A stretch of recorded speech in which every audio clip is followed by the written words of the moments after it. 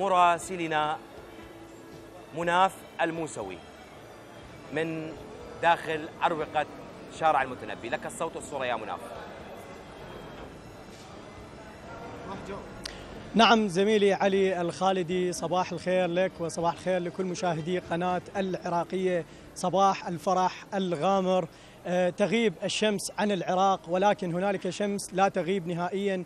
وهي شمس انتصارات قواتنا الأمنية والحشد الشعبي هم أبطالنا هم جنودنا المدافعين عن العراق وعن أراضيه. نعم آه، فعاليات متنوعة وعديدة في شارع المتنبي اليوم أكاديميين مثقفين آه، فنانين أدباء شعراء من مختلف الشرائح ومن مختلف آه، أطياف ومكونات الشعب العراقي اليوم هم فرحون بالانتصارات التي تحققت وخاصة الأخبار أخبار تقدمات قواتنا الأمنية والحسم يوم أمس. ومن ضمن هذه الفعاليات العديدة كانت هنالك لوحة آه، تكتب آه، عليها كلمات الانتصار كلمات الشكر والثناء لقواتنا الأمنية. لنقرأ بعض هذه العبارات التي سطرها المواطنون اليوم. آه، هلا بيهم هلا بيهم هلا بشهقة سراقيهم. أريد أمشي وأصادقهم وبوسا خد بنادقهم وشد قلبي على رجليهم. مبارك نصركم. كانت هذه إحدى العبارات التي يعني خطها المواطنون اليوم. صاحب هذه اللوحة آه نعم أحمد؟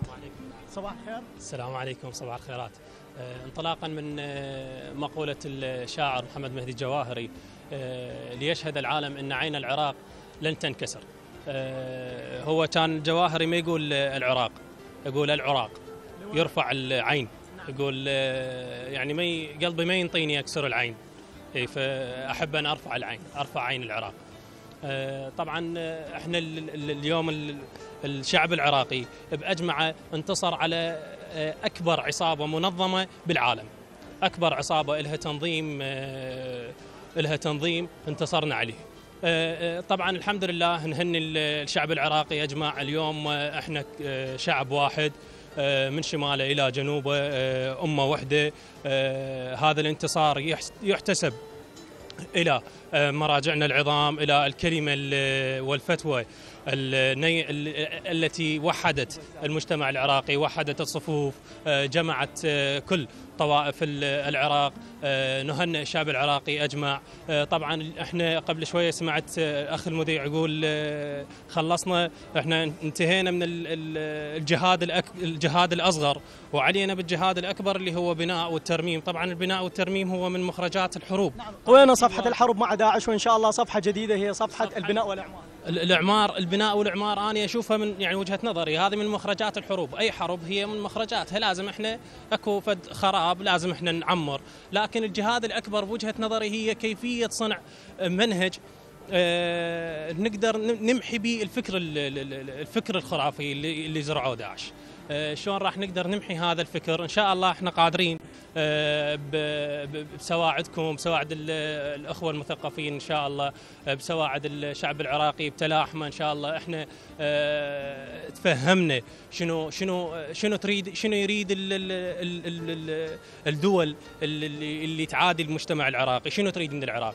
شنو غايتها من العراق؟ آه، الشعب العراقي تفهم هذا الموقف وإن شاء الله إحنا انتصرنا فكريا انتصرنا انتصرنا عسكريا ولو هو الانتصار العسكري هذا ما يعتبر الانتصار الأقوى. الانتصار الأقوى إن شاء الله هو الانتصار الفكر وإن شاء الله فكرنا هو المنتصر. نعم أحمد. آه، كلمة أخيرة توجهها للقوات الأمنية. أريد رأيك منذ بداية انطلاق العمليات العسكرية لحد الآن؟ رأيك بأداء القوات الأمنية اللي كانت أكو إشادات ليس فقط داخلية فقط وإنما يعني من خلال آه، دول وشخصيات سياسية كبرى حول العالم أشادت بأداء قواتنا الأمنية العراقية؟ طبعا الحمد لله والشكر. إحنا آه، إحنا كشعب عراقي آه، صارت عندنا فد آه، اكتسبنا فد ثقة كلش قوية بجيشنا العراقي بإخواننا الحشد آه، بحيث آه، تصورنا إحنا وهذا الشيء إحنا متأكدين من عنده وطبعا هو صحيح.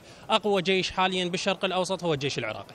وهذا الشيء أثبته باعتبار أني بارحة خليت فد مقارنة بين ما خاضته ما خاضت جيوش العراقية مرور ال- ال- الأزمان كلها آه، من معارك مع هذه المعركة.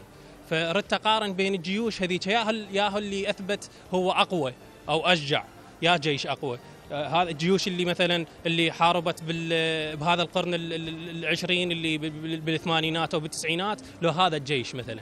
ها؟ باعتبار هذا حرب شوارع صارت. فياه الأقوى. أكيد هذا الجيش هو هو أثبت بأن هو آه، قد هذه المسؤولية والحمد لله على آه، ونسأل الحمد لله على كل حال والله إن شاء الله يرحم شهدائنا الأبطال وإخواننا المجاهدين والله إن شاء الله يثبتهم على الدين وعلى نصرة النصره الشعب الله أه، نعم زميلي علي أه، أقول يعني أكرر الشكر لقواتنا الأمنية أقول لهم أنتم حصن العراق المنيع دائما كما يقال لكم وللحشد الشعبي المقدس أقول لهم كنتم فزعة وطن وخير فزعة كنتم. شكرا جزيلا للجميع. وهذه الكلمة والصورة لك يا زميلي علي.